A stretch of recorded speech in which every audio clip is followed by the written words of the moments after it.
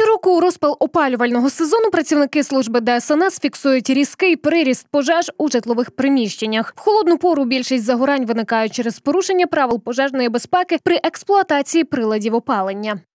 З початку року в нас вже виникло більше 350 пожеж. В основному це, звичайно, пожежі в екосистемах. Але е, з приходом осені зими починається такий осінньо-зимовий пожежонебезпечний період, і частіше, дедалі більше стають, е, стається пожеж в житловому секторі. Все це зв'язано з тим, що люди починають опалювальний сезон. Відповідно, чим далі з'являється більше пожеж е, в житлі. Зв'язано це з тим, що люди або не дотримуються правил пожежної безпеки, або, скажімо так, ну, ігнорують їх взагалі. Людина не завжди здатна передбачити або запобігти виникненню пожеж у будинку. Однак, за словами пана Михайла, вона повинна бути до них готова.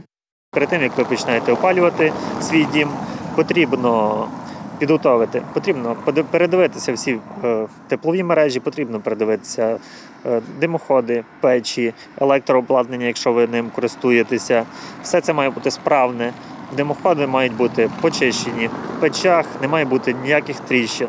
Електроприлади мають бути з справною ізоляцією, мають бути е, повністю е, робочі і придатні до споживання.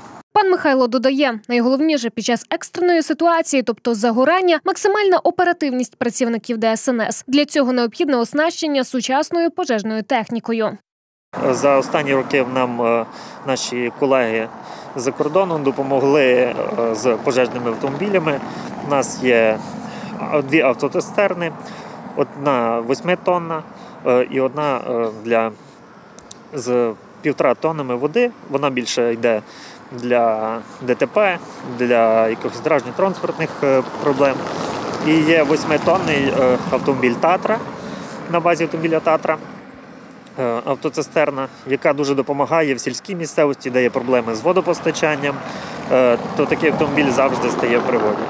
Начальник Мукачівського міськрайонного відділу управління ДСНС України додає, найчастіше пожежі виникають через перевантаження електромережі, несправність електроприладів або ж використання саморобних нагрівальних приладів.